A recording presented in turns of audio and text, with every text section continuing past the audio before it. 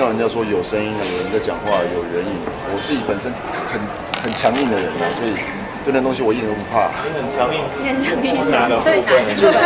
强硬，但是有的时候敲桌子，不是啦，不是这个东西强硬的，是什么什么敲桌子？就是我自己本身就是很不怕那个东西的人，然后也从来都没遇过了。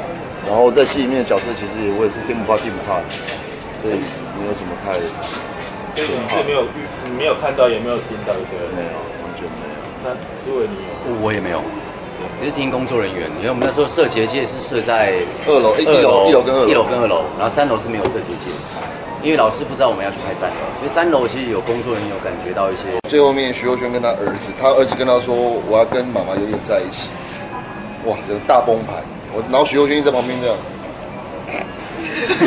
在笑。对他昨天还问我说你觉得可怕吗？我说呃，因为我本身没有没有很很怕鬼，我觉得还 OK 的，还 OK 还 OK。然后最后我就一直那边，我一直撑住说不要哭不要哭不要哭，然后后来看这受不了，拿一包人给擦。那徐若瑄有哭吗？昨天晚上？他好像有，他好像有，他好像有，因为我不，他坐我旁边那个气场太强了，我就不不敢太直视他。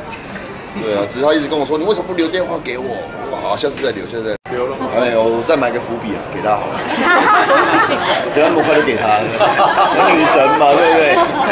对啊，我也要有矜持啊，不能这样。那你有美玲的电话吗？什么东西？美玲的电话。美玲他有号，有啊，为什么没有？我有她的微信啊。